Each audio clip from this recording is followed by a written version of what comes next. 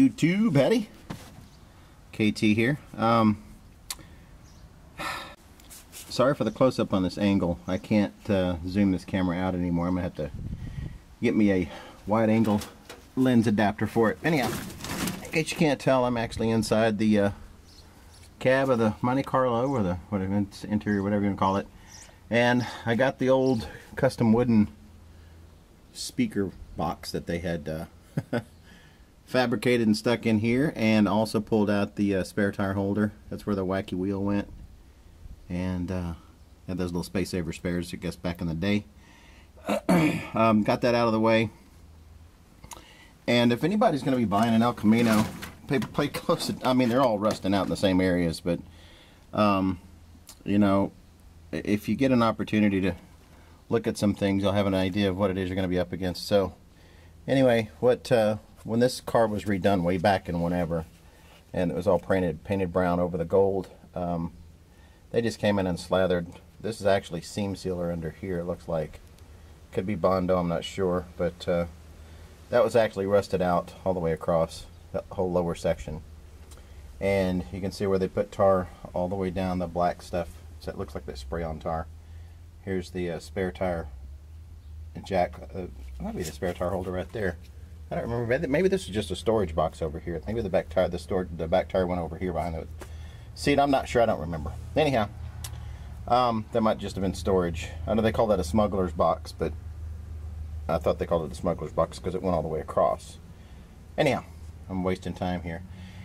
What I was going to do is just come in here with my uh, cutoff tool and start whacking stuff out, but since I've never deconstructed an El Camino before, I'm going to do it a piece at a time and and sort of pretend that I'm going to reuse the parts and put them back in. So what I'm going to do here on this uh, package shelf or whatever this ledge is across the top here, it looks like um, looks like it's just fastened right here with some uh, with some seam welds on the top here and uh, same thing over there so what I'm going to do is cut those first and see if I can get the um, see if I can get the uh, the part out um, without messing it up because that'll give me an idea of you know what it's going to look like going back in.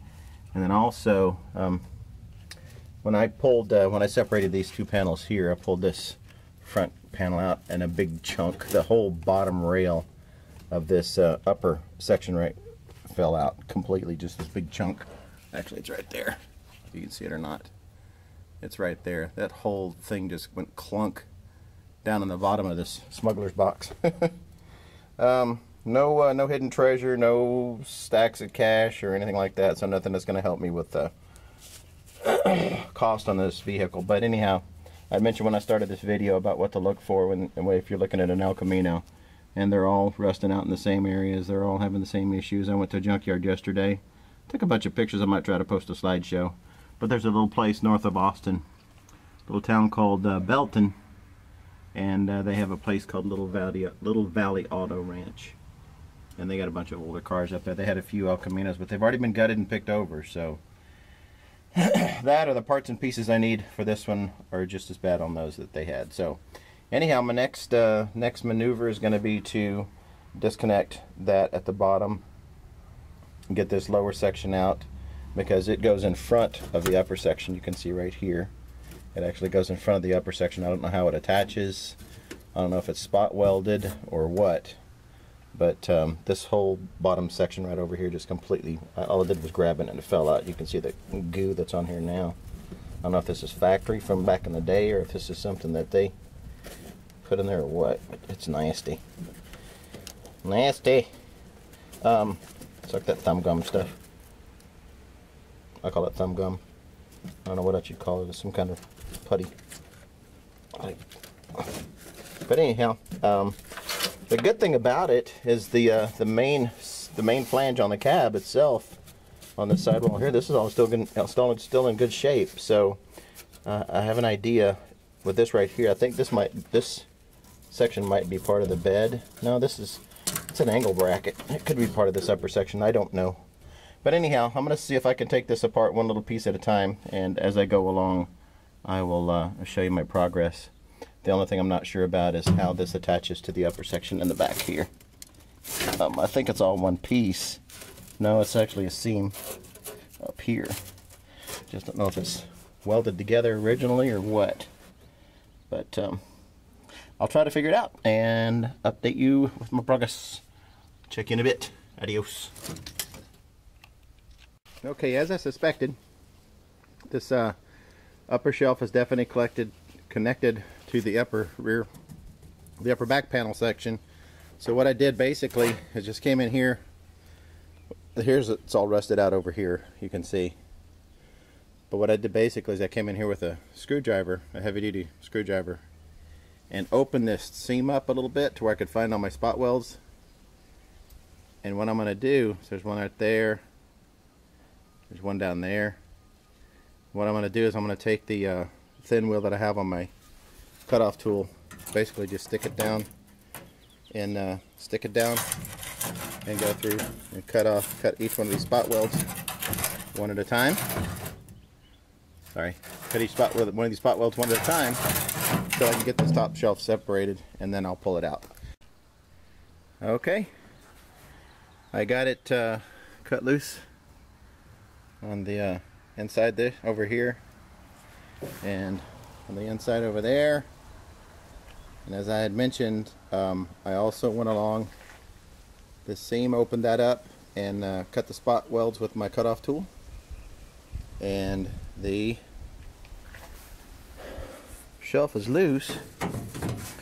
Now I'm not going to be able to do this one-handed but I wanted to show you guys that it's opened up and it is just connected on that side and uh, and the this other side with that little flange. So I'm going to uh, see what it's going to take to get this thing out and I'll check back in.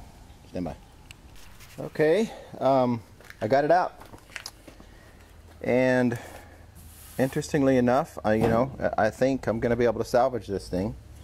I don't know how much I'm gonna check to see how much new ones are uh, before I spend a lot of time on it. Um, and just figure out what my money's worth, you know, or what my time is worth. But uh, I got these out and uh, the little hammer and dolly work, straightened these flanges back up. Looks the rust got down to it a little bit, so it's got a little crack, but I can fill that in with my uh, with my MIG. Um, on the top, obviously, we have some issues. This is where it was up on the back section, so I've got plenty of lip right here. Um, this is where I cut it loose from the other bracket. But obviously as we get down this way, uh, I run out of real estate. But this is just a matter of, uh, you know, depending on where I come in here, I could probably come in and cut it back a little bit and then roll uh, roll this in a uh, in a vise and a couple of pieces of uh, hardwood, or maybe just come right along the top and uh, put something in. But anyhow, I'm gonna I think I'm going to try to save this. Get rid of the rust, obviously, but try to save this, salvage it, reuse it. Um, you know, if not, uh, if it's cheap enough to find another, you know, the replacements, then I'll just go with that. But all depends on what my time's worth, and I'll figure that out later on. Excuse me, I'll check in with you guys in a second and show you where it came from. Alright, so this is where it came from. And uh, we've got this little support brace that runs under the bottom here. And from the pictures that I've seen for the upper back support um, I haven't seen any that show this inside view. So I don't know if uh, if a new back piece comes with this support or not. Uh, I really don't I'm gonna have to study this for a little bit and figure out how they were able to uh, get that get that one piece up here and set it in place. They may have just come up and once they got it in place and then and then back, you know, attached to this back piece, they may have come in under the bottom and just spot welded with some little really small spot weld tube tool and just came up and uh, you know hit one at a time. I'm not sure how they would uh, uh, I, I'm not sure how they would have been able to do it otherwise.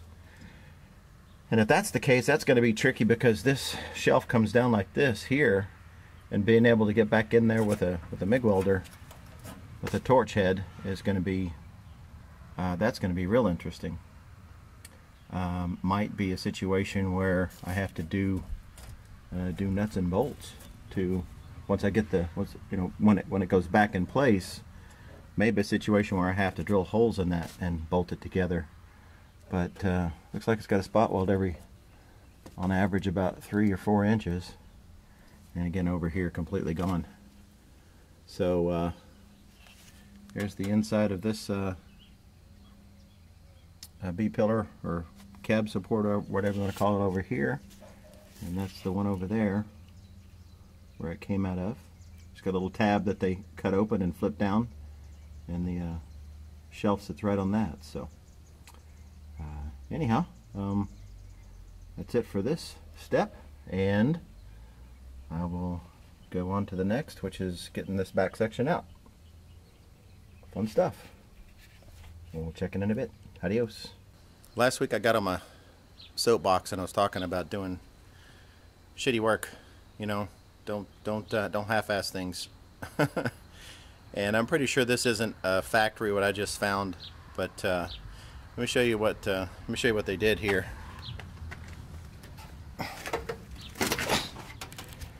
So it looks like, well, I missed a screw. And I don't know, you tell me. I've never taken an El Camino apart, an El Camino apart, but um, I can't help but think that, uh, um, no, I didn't miss a screw. That one stripped out. That this piece wasn't screwed in originally. So I'm thinking it was probably installed after the fact by the monkeys that uh, did the work here. Oh, for crying out loud. Looks like I've got it here.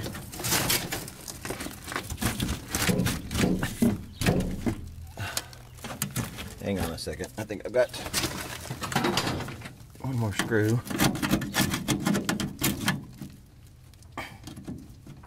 Yes, another screw. Is that one right there? Yep, stand by. Let me take that one out. Uh, what was I saying? I was oh, I recorded a video last week where I got on my soapbox and did a little bitching and raising hell about uh, people half-assing doing shitty work. Um, and I was debating on whether or not I'm going to put it up, but I am. I'm going to put it up as a tribute to what I found today. Um, just terrible the fact that uh, somebody charged a customer. Now, whether the customer, I mean, if the customer expects this kind of work, then maybe you need to be a little more picky with your customers. But um, yeah, it's just terrible. I mean, there's there's no reason for it. Uh, just to, if that's what they're, you know, that's the expectation they have. That's the kind of work they think you do. Then send them on down the road. Um, that's if you have customers. That's if you're going to do this for somebody. If you're going to do it yourself, don't do crap like that.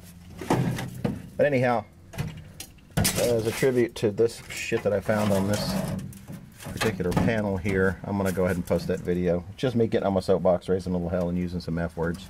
I don't, maybe I didn't use the F word. I don't know. I'll put parental guidance on it. I was a little fired up about some stuff. Some stuff I found in the back quarter panel. Uh, well, here it is, ladies and gentlemen. Oh, opened and exposed and what a mess. What a mess. I'm gonna find out a lot more about this El Camino than I planned on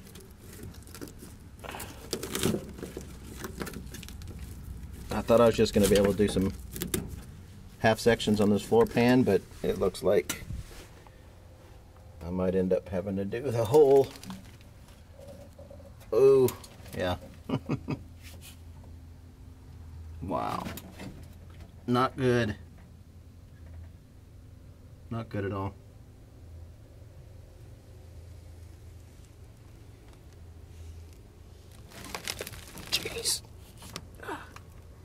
Okay. Well, we discovered it together. Um,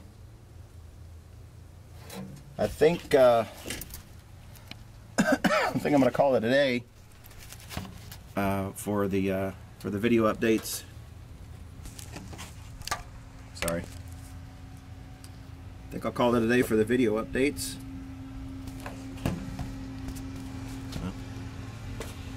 And uh, try to get this stuff cleaned up. Give myself some time to come in and get this uploaded so you guys can see what kind of progress or regress I made today. Try not to get discouraged about this, but I've got a budget set. And if I have to start buying expensive uh, bed parts for this thing, if I have to start buying expensive bed parts for this thing, I might end up blowing my budget. I don't know. Unless I can find a junkyard somewhere that's got some parts and pieces that aren't completely eaten up that I can still buy for cheap and repair. These aren't repairable. Okay.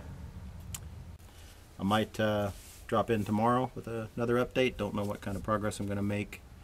But uh, aside from that, everybody take care. Hope you're doing well.